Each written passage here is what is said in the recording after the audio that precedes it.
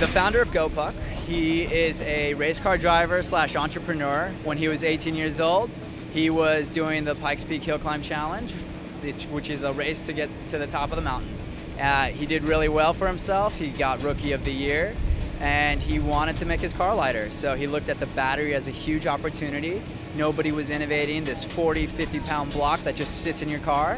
So he made a battery, him and some guys, that was eight pounds and the light bulb goes off, hey, there's other people who could use this. So he started a battery company called Braille Battery. And from then, since the past for the past 15 years, they've pioneered lightweight, high-performance lithium-ion batteries for motorsports, which means they're in IndyCar, they're they can be found in Formula One, uh, NASCAR, Le Mans. Uh, they're actually in GRC lights.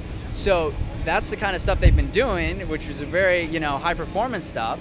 Now he's a young guy. He's 35 years old. He uses his phone all the time for his, you know, to run his business. He's doing his GoPro while he's out racing, and all of these devices are contingent on the battery life. And it was just ironic that here he's got such amazing batteries, yet, you know, he's making such amazing batteries, yet his his phone and stuff is is dying. So he said, you know what? Let's tackle the issue and let's create the solution for us. Something that makes sense something that with everything we've learned for the past 15 years, you know, in, in, in crashing cars and, you know, really getting cars lighter and, and making them run better, let's use that to, for us, for our personal mobile devices.